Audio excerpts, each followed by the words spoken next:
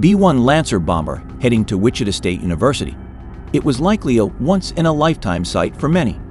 A B-1 Lancer long-range strategic bomber was on the move from Fort Worth, Texas, to Wichita, Kansas, except it wasn't in the air. Rather, the aircraft was being transported by tractor trailer, with wings removed.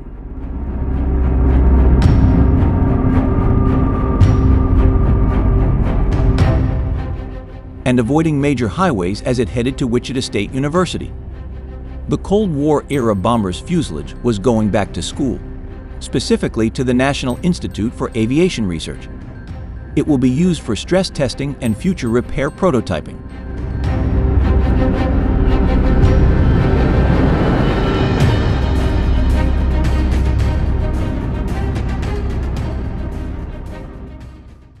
The B-1 Lancer in question, tail number 8589, had been seriously damaged in April 2022 when it caught fire during routine engine maintenance, while parked on the flight line at Dyess Air Force Base, AFB, Texas.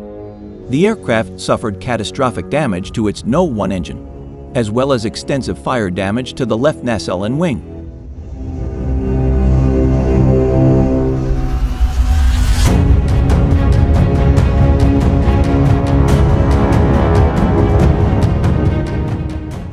The estimated cost from the fire was nearly $15 million.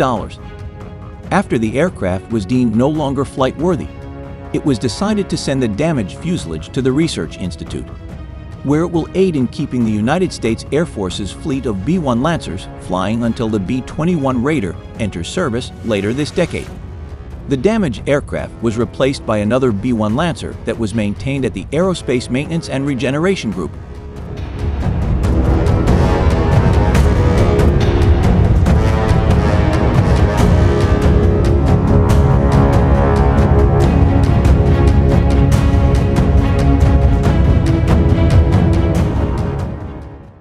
ACA, the Boneyard, at Davis-Monthan AFB, Arizona. Total of 104 B-1s were produced, but fewer than 60 remain in service today. It was also earlier in January that one of the remaining aircraft crashed while attempting to land at Ellsworth AFB, South Dakota. Four crew members were on board, but were able to eject safely, the 28th Bomb Wing at Ellsworth said in a statement.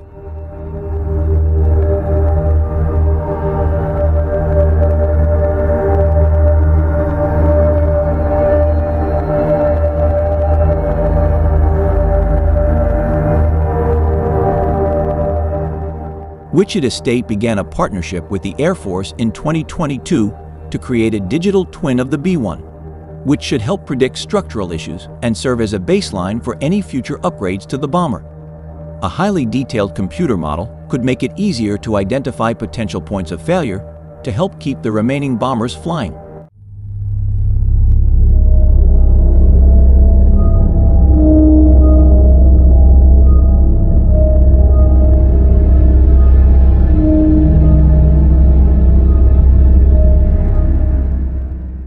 Components from the aircraft that weren't damaged in the fire have remained behind where they will also be put to good use. Select portions of the aircraft will remain at Dyess AFB and will be used to train airmen in various career fields, the Air Force announced. It has already been quite the road trip for the bomber, as it was spotted in several cities including Silverton, Tulia, Happy, Canyon, Borger, Spearman, and Perryton.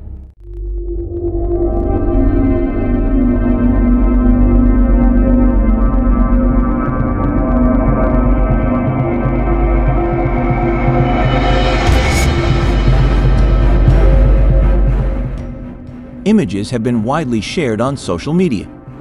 According to CBS Austin, the Hitch and Rail in Borger allowed the crew use its parking lot last Thursday night and announced, who else has a B-1 bomber at their bar? Y'all come check the size of this thing out.